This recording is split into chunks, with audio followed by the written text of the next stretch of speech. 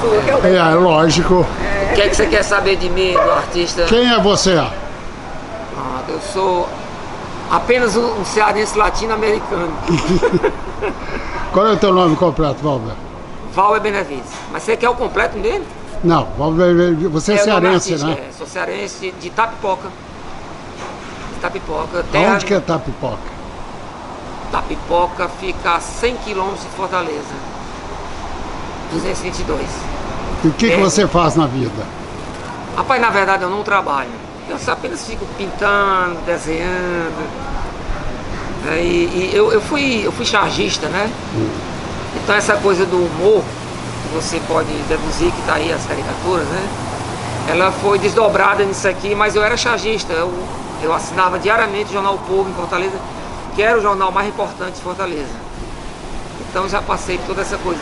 E agora estou me, dedicando mais, além dos grandes painéis caricaturais, né, a, a pintura mesmo, voltei à pintura. Sempre, sempre foi meu, meu pensamento assim de, de artista. Você teve alguma escola ou auti- Eu, autodidata? não, é, eu sou autodidata, mas a gente termina sofrendo muita influência, né? Mesmo porque o, o autodidata ele tende a, a ser um pouco eclético, porque você bebe em tudo, né?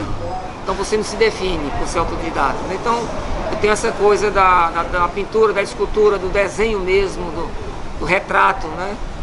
Que eu costumo dizer que a caricatura ela vai além do retrato. Ela fica mais parecida do que o real. E quem foi o teu inspirador De, em que? na caricatura? Na verdade, desde menino, né? Eu pegava meus amiguinhos e tinha alguém interessante e eu desenhava, aumentava as orelhas e tal. E na verdade não sabia nem o que era caricatura, né? Mas já começava me inspirando na turminha do, do sala de aula, tá, essa porra toda. E, o- e depois, como adulto, trabalhando no jornal, você se inspirou com algum caricatur- caricaturista? É, rapaz, coincidentemente, a mesma. Minha, minha formação é de desenhista. Então eu era um caricaturista que basicamente eu desenhava. Minha inspiração era Ziraldo, no começo mesmo, depois a gente começou a se identificar com o, com o Paulo Caruso, Chico Caruso, né? Chargista aqui, carioca, né? E a gente se identifica com os traços. Então cheguei a conhecê-lo, tá em Fortaleza e tal. E você hoje se define como? Pintor, escultor, chargista? nessa salada toda. Porque na verdade o trabalho, mesmo como, como pintura, ele entra traços de DNA da caricatura, que é a pintura expressionista, né? que é a deformação e tal, né? o sentimento e tal. Então entra tudo, não tem nada separado. E como é que você acabou aqui em Macaé, no Ilhote, fazendo esse painel que virou uma marca Pronto. na cidade? O Renato, né, que vocês conhecem muito bem, ele morou em Fortaleza um tempo, né? E ele chegou a conhecer o painel do Caisbar em Fortaleza. Esse, esse painel ficou muito conhecido, virou referência em termos de cultura, de lançamento de livros, de shows. O primeiro bar a gravar um CD, um disco em Fortaleza. Então ele tinha toda essa coisa, né? E ele, quando veio pra cá, eu fiz a primeira exposição no primeiro espaço que ele teve aqui, que foi muito antes desse aqui. Casou com, né? Ca- Casou com a irmã da, da, da Herbene, que é, é minha mulher também. Cunhado, né? Pronto. Cunhado. Quer falar sobre o Caisbar também, que você frequentava também? Não, já falou tudo aí do Casbar, não tem que falar não. Realmente era um ícone, né, da, lá de Fortaleza, né? Um, um bar que acontecia tudo né, na cidade, tudo de mais importante acontecia lá, era um point, né? Para as pessoas, né, na época, né? E ele foi referência para essa juventude da- dessa época dos anos de, oit- de 80, não, 90, 90, 90, 90 é. né? Final dos anos 80 e 90. 90. Até o final dos anos O 90. bar acabou fechando, né? Pela é, abandono da, da, da, Da área da de área Iracema. Praia de Iracema, que o policiamento foi voltado para um outro, uma outra área de Fortaleza que estava inaugurando, o Dragão do Mar, né? Então por conta disso o Cais Bar acabou indo embora, né? Aí foi, faliu, né? Faliu e Mas ficou marcado, né? É. Você é jornalista? Sou jornalista. E acompanha o marido do chargista? Conheci ele no jornal O Povo. Ah, é? Foi buscar lá. Foi te buscar lá. E como é que você trata, vê ele como chargista, você sobre a ótica de jornalista? Ah, eu acho que ele é um. É, eu acho ele uma pessoa muito. É, eu digo, é, nessa área da criatividade, né? Ele consegue expor com, com inteligência também, né? Apesar da, da criatividade, né? o que ele está pensando, né? Então, uma matéria mesmo do jornal, ele, ele faz, ele desenha a matéria, digamos assim, né? Ele põe na, na um, um cartoon, uma charge, tudo que aquela matéria está dizendo, não precisa nem a gente escrever muito, porque só com os traços dele já diz tudo. Hoje eu não sou mais de jornal. Né? É, o que me fez, que me encantou também, é, por, por isso aí, foi essa particularidade, né? Que eu achava fascinante, que eu acho fascinante isso aí, né? Você nunca me disse isso, Eu tô dizendo Você primeira mão aqui em Macaé. É, pra você ver né, como é que a vida é.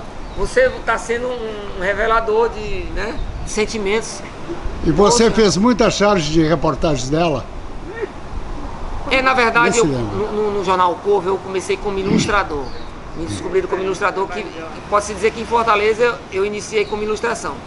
A valorização da matéria não como tapa-buraco, mas como um prolongamento né, da, do, do, contexto de matéria.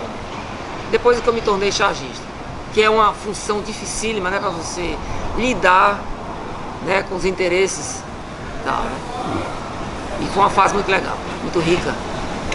Tu acabou aqui em Macaé, trazido pelo Renato, uhum. e fez esse painel. Me conta como é que foi a história desse painel aqui no Ilhote ele, ele o, o, o, Renato, ele é apreciável, ele era fãzão do painel do Caisbar, né? E ele me sugeriu, pai, vai pensar em algo que, que tenha naquela mesma linha, que a gente valorize. Porque o Rio, pô, cheio de ícones, nós estamos mais próximos desse arsenal de, de, de compositores né, da MPB, né? E vamos pensar numa ideia de caricatura também, que eu acho que vai virar uma marca muito, muito legal pro, pro Ilhote, aqui pra Orla e tal, né?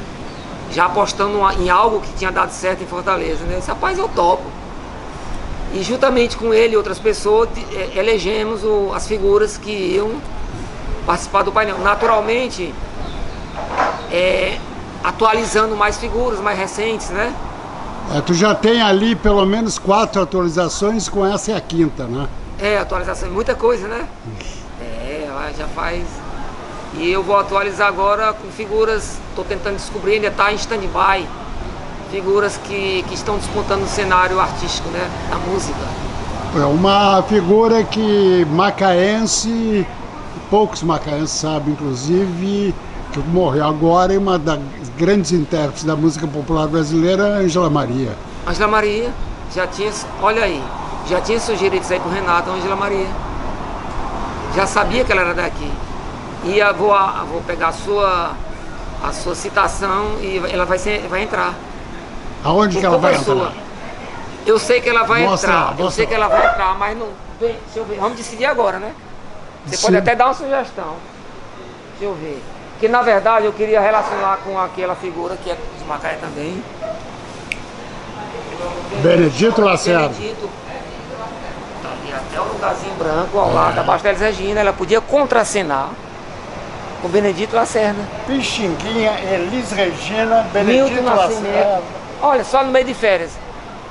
Das férias. Calbi Peixoto poderia entrar porque ela era grande parceira, vamos dizer assim, Tá surgindo, eu não tinha pensado no Calbi. Faz, é, para fazer justiça, né? Mas. Como é que você pegou, por exemplo, o Chico ao lado do Vinícius, mas não interagindo? Enquanto que Caetano e Gil estão interagindo. É, isso aí na verdade foi uma fase do Gil e do Caetano, né? Desse. Dessa, dessa identificação da música, da, da, dos ser baianos também, nessa. Né? Eles tinham esses estilos, né? E eu coloquei nesse, nesse abraço fraternal, essa coisa solta do Caetano. Do Mas deixou Vinícius e Chico meio que. Não, o, é. O Vinícius ali está só esperando algum parceiro chegar, né? Ele realmente está pensando, ele não está ele não tá em parceria tá meio solitário. Ele- na verdade ele não tá só porque ele tá tomando o whiskyzinho dele, né? Sempre. é o companheiro dele mesmo. Noel Rosa, no canto aqui esquerdo, É, Noel Rosa porque eu acho que vai de Noel Rosa Jubim, né? Eu coloquei. os dois ponteiros, o Noel e É, eu quis fazer uma. pontuar a, a história, né? Que eu acho que é o mais antigo, assim, né? Colocando. É o Noel Rosa. E moderno, moderníssimo, né? Atualíssimo, né? cadê Donga? Não tem. Não tem. Quem sabe da próxima vez, né? É, merece, né? Merece. Tem muita gente. Podia estar ao lado do Chico, dois tricolores, Pronto, podia ser. dois tor- grandes torcedores do Fluminense. É tempo que vai voltando aí, ó. o- o- A Ângela Maria. Calbi Peixoto. Donga, Tonga como sugestão. pioneiro no samba. Pioneiro do samba, por que não, né? Quer dizer que tá antes do. do, do, do Noel. Do Noel, é. Fantástico, né? E Noel, Noel era grande amigo Ah, do Di Cavalcante poxa, aí entra, entra as artes plásticas, né? e de um outro ilustrador que está me fugindo o nome. Sambista também. Aham, Fez muita música por marchinha de carnaval. aham. Como é o nome dele? Vixe, eu sei quem é. Não tô lembrando, não tô lembrando. Aí que calou. É. Eu sei, Não me sei, lembro sei. o nome dele, não. Me fugiu agora. Mas assim, a caricatura, ela tem, ela tem um problema sério.